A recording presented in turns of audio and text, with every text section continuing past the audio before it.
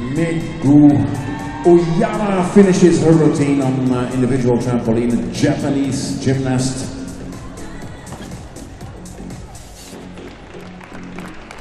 And a good one.